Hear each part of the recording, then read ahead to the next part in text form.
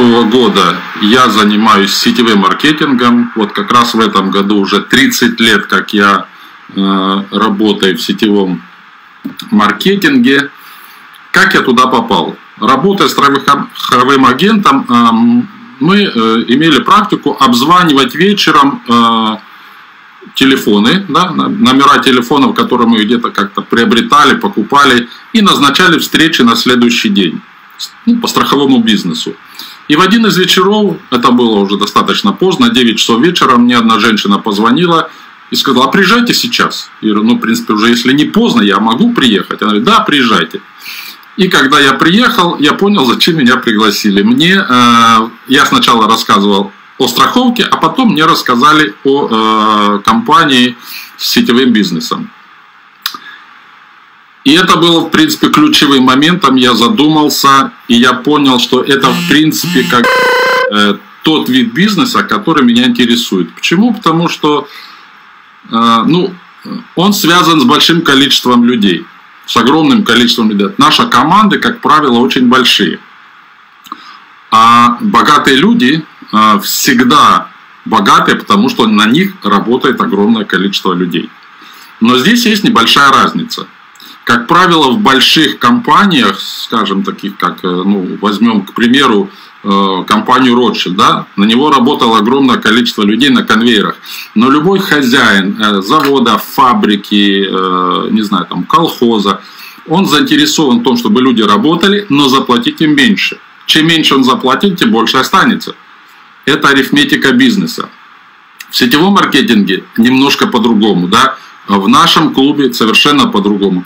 То есть э, мы работаем с большим количеством людей, но честно и справедливо. Почему? Потому что э, система построена таким образом, чем больше зарабатывает мой партнер, тем больше зарабатываю я. У меня чисто шкурный интерес. Я готов работать э, помогать своему партнеру, лишь бы только он больше зарабатывал, потому что процент от его дохода увеличивается и у меня.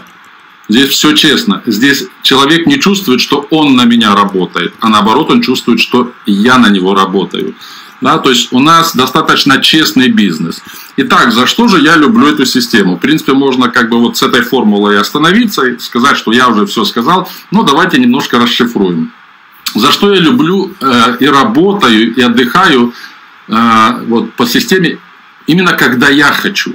Я могу встать э, в 4 утра, я могу лечь в 4 утра, я могу работать в обед, я могу работать вечером, я могу работать ночью, я могу работать с автомобиля, я могу работать с дачи, я могу работать в аэропорту, я могу работать на корабле. То есть я работаю тогда, когда я хочу. Никто никогда не определяет мой рабочий день. Он 4 часа, он 2 часа, он 8 часов, он 16 часов, он 24 часа. Решаю только я. Разве это не здорово? Разве это не свобода? Я люблю этот бизнес за то, что я работаю и отдыхаю, где я хочу. Я выбираю, я выбираю страну, а, я могу отдыхать на даче, я могу отдыхать на я могу отдыхать в Турции, я могу отдыхать э, на лайнере в любой стране. И при всем этом решаю я, где буду отдыхать года, а, я работаю и отдыхаю с э, такие, как я, а мне на данный момент 63 года, у меня уже 9 внуков. И я помню, когда э, мы э, тряслись и думали, а когда нам дадут отпуск? В январе, в феврале, а лучше бы в марте, а совсем хорошо в июне. Но кто-то за меня решал, когда мне отдыхать летом, осенью, зимой, весной, а не тогда, когда я хочу. Здесь я определяю время, когда, где и сколько я буду отдыхать. Одну неделю, две недели. Я могу взять круиз на месяц. Я могу взять э, кругосветное путешествие. Кстати, э, лично своего опыта э, могу сказать, что ну, как-то одной недельки на лайнере – ну уж, ну уж маловато. Вот только-только разошелся, только кураж пошел, только вот душа развернулась. а неделька закончилась. Две недельки в самый раз. Вот две недельки в прошлом году мы отдыхали э, по Персидскому заливу. Ну, было больше, конечно же, лучше, никто не спорит. Но две недели в самый раз. Имейте в виду, когда заказываете круизы. Далее. За что же я люблю еще эту работу? За то, что я э, работаю и отдыхаю с тем, с кем я хочу. Это тоже очень, э, скажем так, показательно. Многие знают, у многих есть примеры, когда вы приходите на работу и находится какой-то тип, ну, неприятный. Может это начальник, может это сменщик, может это напарник, э, неважно. Но вот по какой-то причине, как говорят, нет химии, да, вот, вот ну, неприятный человек. А вы обязаны с ним работать, вы обязаны ему улыбаться, если это начальник, да. Э, вы не можете ничего сказать против, просто потому что вы воспитанный человек, но вам некомфортно. Да? Здесь у нас э, полная свобода, абсолютно полная свобода. Вы можете работать с кем хотите, где хотите, как хотите и отдыхать где и с кем хотите. Разве это не свобода? Разве это не здорово? Конечно же здорово. Дальше, смотрите. Я сказал, что я э, более 30 лет – более 30 лет, э, ну не более, а 30 лет работаю в сетевом бизнесе. Почему 30 лет? А потому что э, тогда, когда я начинал работать, мне правильно, э, доходчиво объяснили, что дает этот бизнес. Он дает полную свободу, он дает возможность зарабатывать столько, сколько вы хотите. Он дает возможность работать столько, сколько вы хотите. Это все то, что я перечислял.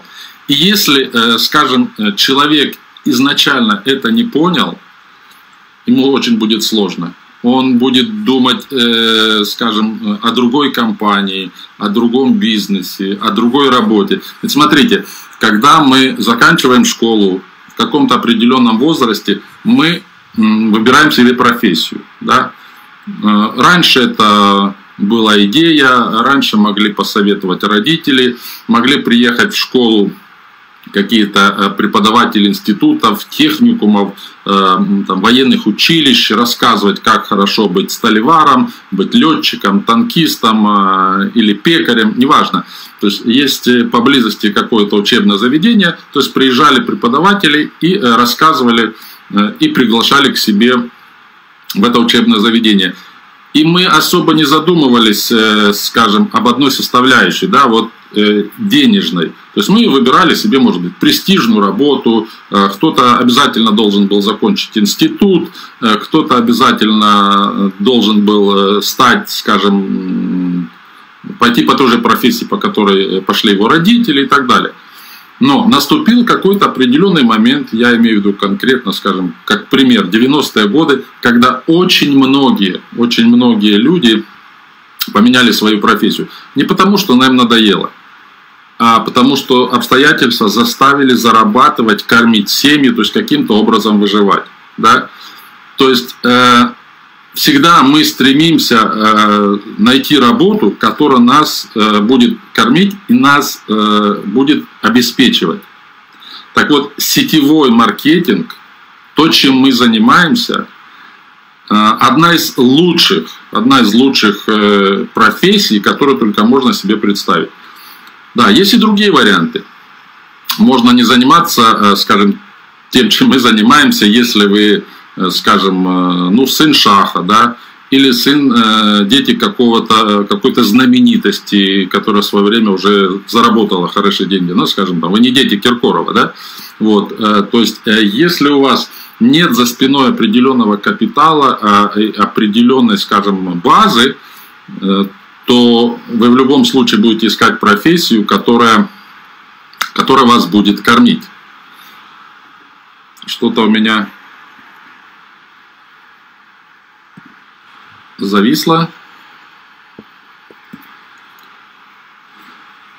Я не вижу комментариев.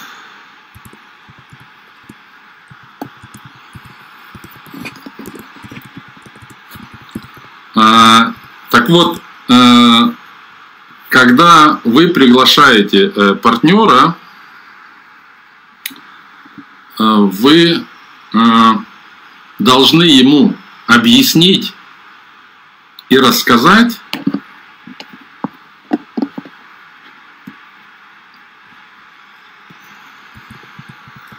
Так, вот вижу одного человека, и всех остальных не вижу, никаких комментариев. Я э, разговариваю с кем-то, не разговариваю, я не могу как бы определить.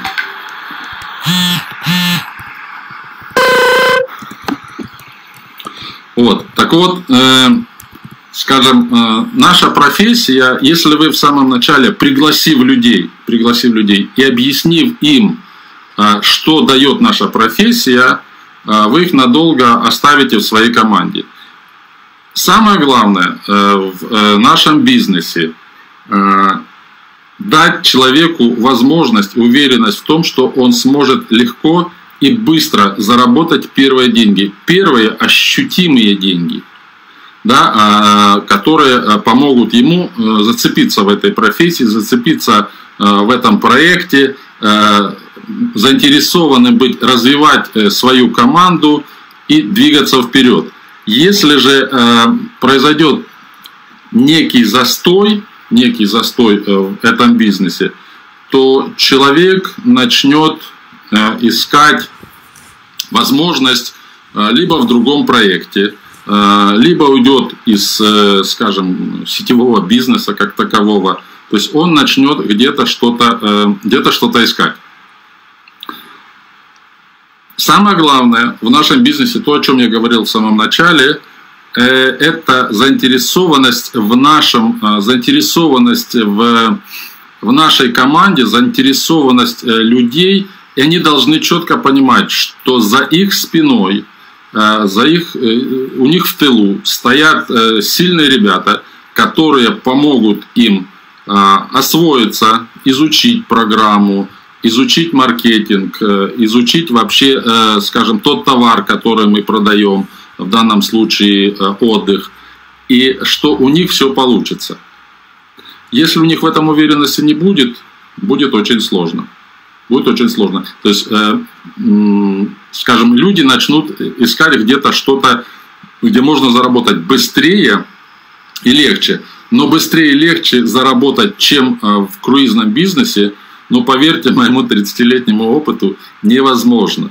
Невозможно. Почему? Потому что сама индустрия, она очень и очень богатая.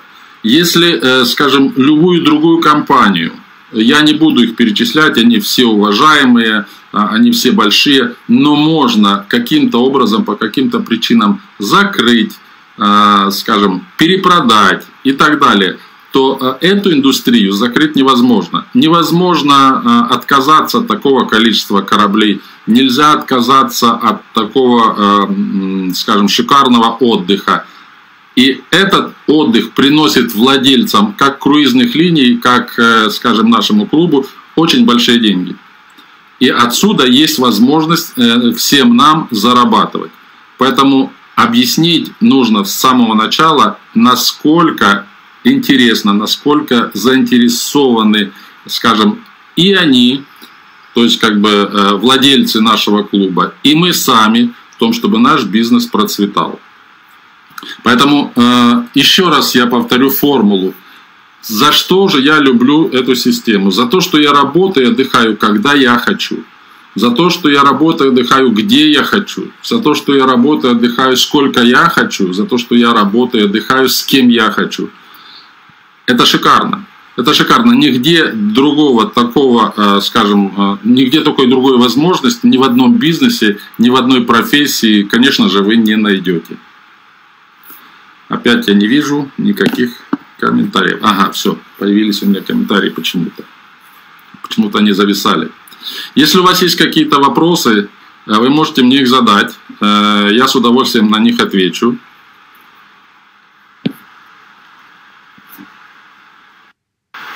Так, сейчас я прочитаю. Так, видно, слышно. Да, вот меня Павел поправил, я с тобой абсолютно согласен, но это чисто по привычке. Да, не корабли, а лайнеры.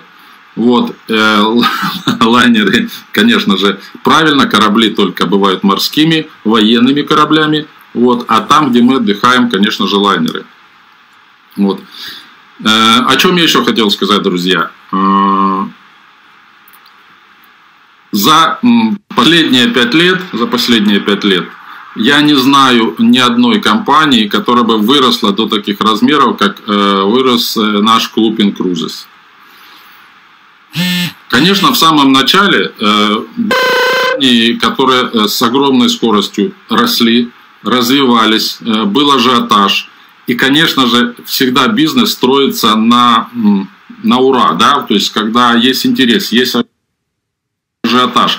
И если этот ажиотаж создать, то любая компания очень быстро поднимется. Но кроме того, что она поднимется, она должна еще устоять. Да?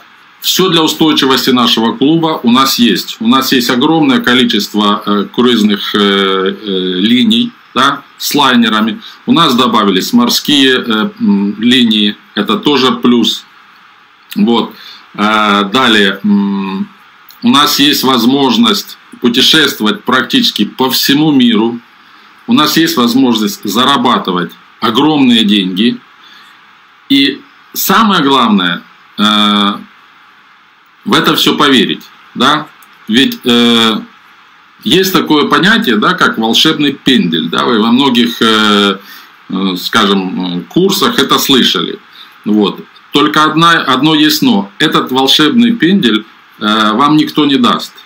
Да, не ваш наставник, ну он может там вас немножко потрясти, а только вы сами. Вот вы сами можете себе э, это позволить, да, подтолкнуть себя. А чтобы себя подтолкнуть, нужно создать себе либо условия, да, не создать, а дожить до таких условий, когда у вас, ну все, ну все очень плохо. Но зачем ждать, э, когда у вас все плохо, да? Когда можно сделать так, чтобы у вас всегда было все хорошо. Для этого нужно поверить просто в себя. Да, я это могу. Да, я это сделаю. Да, я в правильном месте. Да, я в, правиль, э, в правильное время. Да, я пришел э, сюда.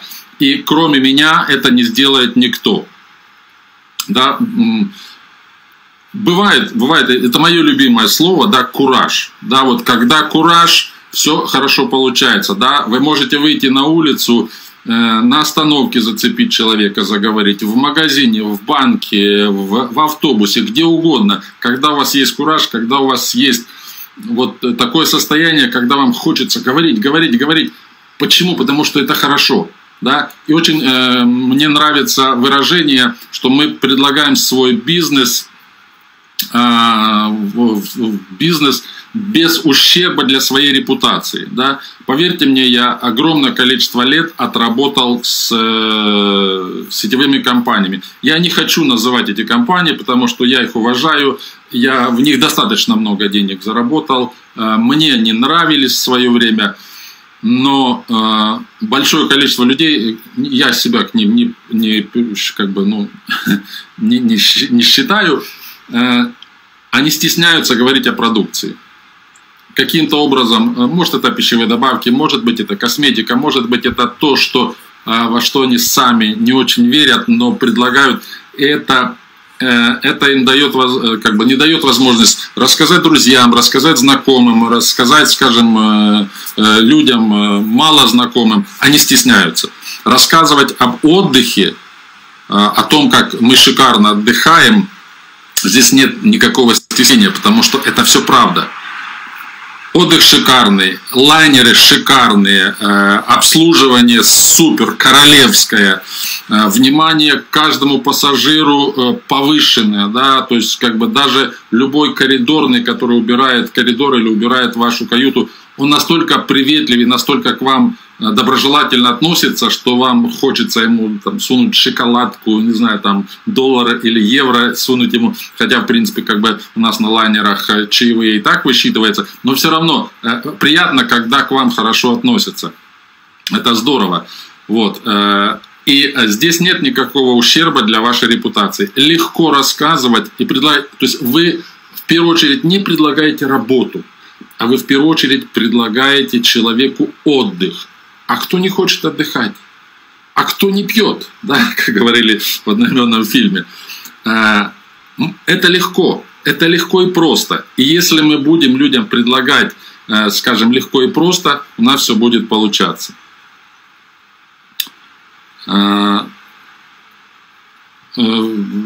Почему мало мужчин задавали вопрос, почему мало мужчин в Incruises? Ну, опять-таки, понимаете, может быть, у Павла свое мнение, почему, а у меня может быть свое. Я считаю, что это из-за или из-за воспитания, что ну, вы, выглядит это так. Бери больше, кати дальше. Мужчина должен работать э, тяжело, э, у него должна быть такая серьезная профессия, сталевара, молотобойца или военный, или, но рано или поздно и сталевары, и молотобойцы, э, и кочегары, и плотники, и летчики, и моряки, они приходят... Одну минутку мне помоги. Они приходят эм, они приходят в э, наш бизнес, в нашу профессию и, э, и начинают работать. Но, но, я очень сожалею, что очень мало мужчин. Э, не хочется сказать,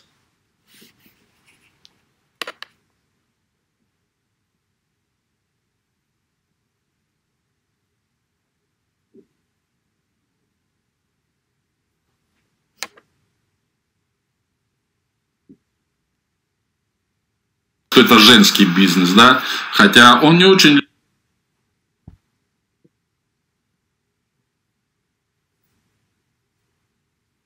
могут.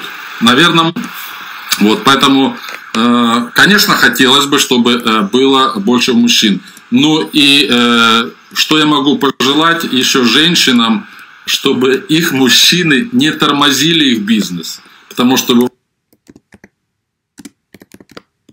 бывает иногда такое, когда э, э, разговариваю с женщиной, она говорит, да, мой муж сказал, слышь, ты куда ты лезешь, куда ты опять деньги э, втюхала, э, опять очередное МММ, опять очередное кидалово.